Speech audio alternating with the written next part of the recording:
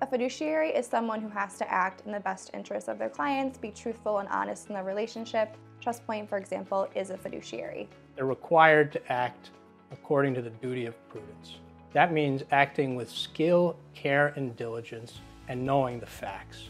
At TrustPoint, we're certain to do that with all of our clients so that we can get them the best outcomes. Since we are a fiduciary, it's really important for us to avoid conflicts of interest for all of our clients. Simply put, we don't engage in them. We don't have them. We don't work in a way that gives rise to conflicts of interest. Not every financial advisor is held to a fiduciary duty standard. Essentially, there are two standards. First is a suitability standard. That's where you'd pick something that works for the client but isn't necessarily the best one. Suitability doesn't mean that the advisor puts their client's interests first. It only means, is this investment suitable which is a very gray and imprecise standard. As a fiduciary, we hold ourselves at TrustPoint to a much higher standard.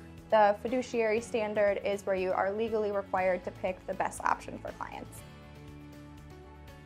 TrustPoint, just like many fiduciaries, is compensated on an assets under management fee schedule, so we don't have any commissions or kickbacks. It's very transparent and disclosed to all of our clients. At TrustPoint, we always fully disclose our fees and they're entirely transparent. Generally speaking, they're on one piece of paper and you can see everything right in front of you. It's easy and easy to calculate and that's how it should be.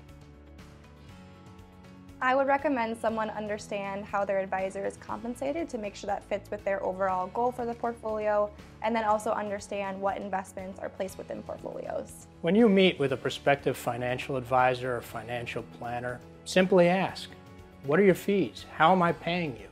And if the answer is complicated or you can't understand it, that's a real red flag.